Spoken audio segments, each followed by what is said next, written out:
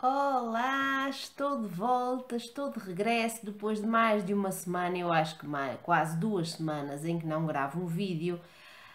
porque a vida meteu-se pelo meio, ou melhor dizendo, a vida profissional meteu-se pelo meio, ando numa roda viva, final de período, é caótico, é trabalho em dobro, em triplo, o que vocês quiserem e pouco tempo há para aquilo que nos dá mais prazer, como é o caso de partilhar convosco as minhas leituras. Uh, e por isso mesmo estou a aproveitar este tempinho neste domingo para pôr, uh, não em dia, mas adiantar um pouco os vídeos que eu tenho em atraso. E este vai ser o primeiro, vai ser sobre duas leituras que eu fiz no início do mês de março falo-vos destas duas obras, duas obras que são empréstimos, um empréstimo da Biblioteca Municipal e um empréstimo da Dorinha Linda. Ora, eu vou falar em primeiro lugar uh, desta obra, obra esta que eu trouxe da biblioteca, como já disse, e que já fazia parte da minha lista da biblioteca há um tempo. Há algum tempo porquê? Porque alguém, eu creio que foste tu, Paula, que me falaste desta autora pela primeira vez, quando eu uh, uh, lancei o repto de saber se alguém me poderia recomendar obras uh, que fossem semelhantes às obras de Kate Morton. E eu acho que foste tu, Paula, que me falaste sobre esta autora. E eu lembro-me de ter de imediato pesquisado sobre ela e visto que na biblioteca da minha terrinha moram duas obras dela. Ora, esta que se chama A Herança, a autora, como vocês conseguem ver, é Catherine Webb é uma autora inglesa, uh, mais nova do que eu e que uh, veio cá para casa, como eu disse, na expectativa de encontrar uma narrativa, uma leitura que fosse semelhante às leituras que me preenchem de Kate Morton. Ora, e, e depois de ter lido esta obra no início, fins de fevereiro, inícios de março, eu posso desde já dizer que esta obra contém de verdade os ingredientes que eu estava à procura, ou seja, encontro aqui uma saga familiar, um mistério, vários segredos que estão por detrás da história desta família e uma dualidade temporal, ou seja, saltos do presente para o passado, do passado para o presente e, por fim, personagens femininas porque uh, se vocês conhecem Kate Morton, sabem que as obras dela são sempre habitadas ou protagonizadas por personagens femininas, esta de Catherine Webb não foge à regra. E como, como vos disse, temos aqui uma família, família essa que tem uh, um passado aristocrático e temos aqui uma herança que é deixada a duas irmãs pela avó,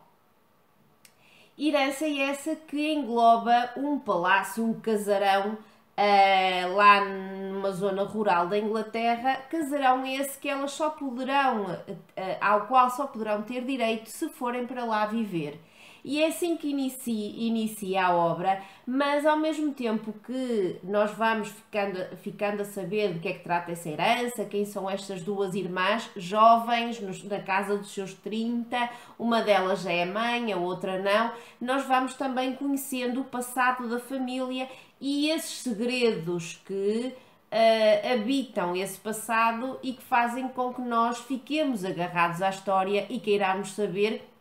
muito mais sobre eles, ou seja, que, que segredos são esses, porque é que eles existem, uh, quem esteve por trás deles, etc. E nós temos então aqui uma narrativa, como, como eu já vos disse, que vai do, do, passado para o presente, que acompanha estas duas irmãs, mas também acompanha o passado da família, a avó, a avó que lhes deixou na herança o casarão, a bisavó. Uh, que morou durante muito tempo nos Estados Unidos e vamos tendo também uh, um, um saltitar desses, destes, entre estes dois países dos dois lados do Atlântico, Inglaterra e Estados Unidos, e vamos uh, virando a página com bastante interesse, página atrás de página, porque apesar do ritmo ser um bocadinho lento, sobretudo no início, há sempre ingredientes que nos fazem e que a mim me fizeram uh, querer a, uh, continuar a leitura com muito interesse. E como vos digo, foi uma obra que eu gostei bastante de ler. Um, gostei bastante das personagens, sobretudo da bisavó, da Carolyn, essa,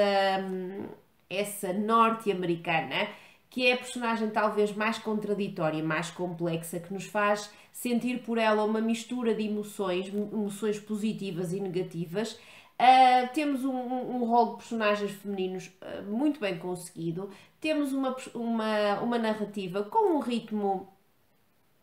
algo lento ao princípio, mas que vai, uh, vai crescendo à medida que a narrativa avança, e temos um desfecho, um desenlace bastante satisfatório. Ora, eu gostei bastante, não gostei tanto como as obras de Kate Morton, uh, também já levava as expectativas bastante altas, ou seja, os termos de comparação são de obras às quais eu dei sempre a pontuação máxima, mas aconselho vivamente a quem gosta deste género de trama, a quem gosta deste, de personagens femininas eh, bem moldadas, bem com uma, uma personalidade uh, que nos atrai, Uh, quem gosta de, de, sagas familiares e de segredos que queremos desvendar, e é uma obra que se lê muitíssimo bem, apesar de ser algo grandota, e eu aconselho-a a toda a gente, como eu disse, que goste desses temas e que, como eu, seja fanzaça da Kate Morton, porque não vai ficar desiludida. Não, não, na minha opinião, não chega ainda ao patamar das obras de Kate Morton, mas não anda muito longe.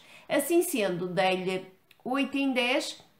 e quero uh, um dia destes trazer a outra obra da biblioteca desta mesma autora para lê-la e quiçá para ver se é tão boa ou melhor, ou melhor do que esta, ok? Primeira obra que li em, um, em março e da qual gostei bastante. A segunda obra, como eu já vos disse, foi o empréstimo da Dorinha Linda. O meu maridinho leu-o em primeiro lugar, adorou, deu-lhe a nota máxima, deu-lhe 10 em 10, leu-o em fevereiro e eu li agora em março, não demorei, deixem-me só ver quanto tempo é que eu demorei. Não demorei muito tempo, demorei 4 a 5 dias a lê-la. Um, eu não vou adiantar muito mais, até vou deixar ficar aqui em como card uh, a opinião da Dora, uh, que leu esta obra e que, e que foi essa mesma opinião que fez com que eu lhe pedisse emprestada esta obra de Joanna Goodman, A Casa das Meninas Indejadas. Já várias meninas aqui do Booktube o leram. Além da Dora, eu acho que a Isa e a Tita também o leram e gostaram imenso. Se não estou enganada, a Sandra do Mil Estrelas no Colo também gostou muito. Eu não fiquei atrás, gostei bastante. Gostei muito do facto de esta obra estar baseada em acontecimentos, em factos verídicos uh, de me levar para um país do qual eu conheço pouco, como o Canadá, e sobretudo uma província da qual ainda conheço menos, que é a província do Quebec, e de hum, conhecer um lado menos bonito de, do que. Ah, enfim, não é um lado menos bonito, infelizmente. É menos bonito e é, infelizmente é muito comum. Coisas que o governo, os governos às vezes fazem por interesses económicos eh, para agradar a determinadas fações. Neste caso aqui temos um governo nos anos 50 no Quebec que para agradar a fação, não digo fação, mas um, o lado religioso uh, transforma orfanatos em hospitais psiquiátricos, porque assim as freiras que tomavam conta dos orfanatos iriam ganhar muito mais por cada doente e não estiveram com meias medidas, fizeram-no, fizeram transformaram orfanatos em hospitais psiquiátricos, misturaram órfãos com doentes, como aqui se diz, atrasados mentais e fizeram com que muitas órfãs, porque aqui nós acompanhamos o, o, o caso de uma menina que foi abandonada uh, num orfanato uh, por uma família acompanhámo-la e senti-me, eu pelo menos senti-me muito, muito, muito uh, incomodada com os maus tratos, as torturas, o sofrimento que lhe foi infligido durante muito tempo, até que ela finalmente pôde, já numa idade jovem adulta, pôde sair do orfanato e tentar fazer uma vida fora daquelas quatro paredes de um hospício onde ela foi muito maltratada, onde sofreu, onde, onde a torturaram, onde ma, ma, um, lhe davam todos os dias de noite uma droga que a fazia ficar completamente zombie. Um, e muito mais coisas que eu não quero revelar para quem quiser ler a obra uh, não ficar a saber demasiado, que eu não gosto nada de, de vos deixar aqui muitos spoilers, mas essa, essa parte foi aquela que eu mais gostei, gostei. Claro que depois temos por aqui algo que eu acho que é ficcionado. ficcionado. Temos uh, duas protagonistas, mãe e filha.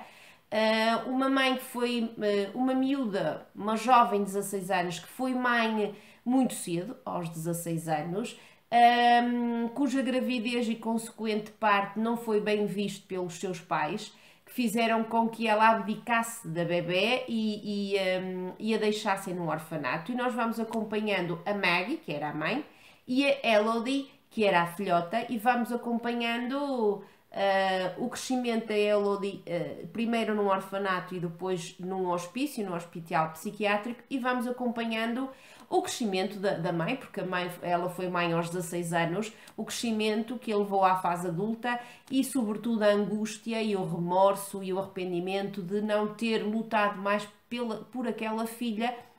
que não foi uma gravidez eh, desejada, mas que foi produto de um grande amor da sua juventude. Eu gostei muito de ler, gostei, uh, gostei sobretudo dos factos verídicos. Um, na minha opinião, a, a, obra ganharia um bocadinho mais se houvesse um equilíbrio,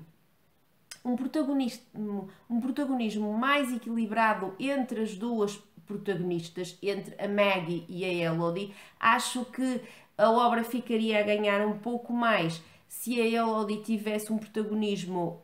eh, equiparável ao, ao da Maggie, uh, mas assim não o quis. Um, um, a autora e eu gostei. Claro que não posso dizer que seja uma obra muito intensa, com, com uma mistura de emoções que nos deixam,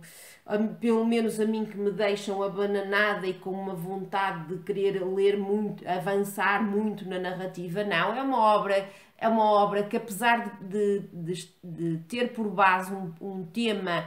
uh, verídico e doloroso, é uma obra que se lê bem. Uh, a escrita é leve, é simples e eu acho que agradará uh, bastante gente que goste de obras baseadas em factos verídicos, mas que têm uma trama ficcionada que nos prende e que nos faz uh, ler isto com rapidez e gostar uh, do que leu. Ora, eu uh, gostei, gostei bastante, também lhe vou dar 8 em 10. E, um, e aproveito para agradecer mais uma vez a, a ti, Dorinha, o empréstimo. Eu, entretanto, devolvo-te a obra e obrigada, obrigada porque tanto eu como o maridinho lemos e gostamos, ele mais do que eu, mas mesmo assim eu também gostei bastante e por isso mesmo deixo-vos as duas obras aqui, a opinião das duas obras que me acompanharam no início de março e, um, e se já leram alguma delas, digam-me por favor nos comentários se ficaram interessados em ler também. Uh, se me recomendam mais alguma obra, por exemplo, desta autora, que vocês uh, já tenham lido e, acham, e achem que eu vou gostar, porque eu acho que desta autora, não, pelo menos não conheço mais nada um, aqui em Portugal publicado, e vou ficar-me por aqui uh, neste primeiro vídeo que eu uh, que estou a gravar, porque pretendo ler, uh, gravar agora mais uns a seguir aos outros. Por isso, um beijinho muito grande, não se esqueçam de deixar nos, nos, aí nos comentários as vossas opiniões e até ao próximo vídeo. Tchau, tchau!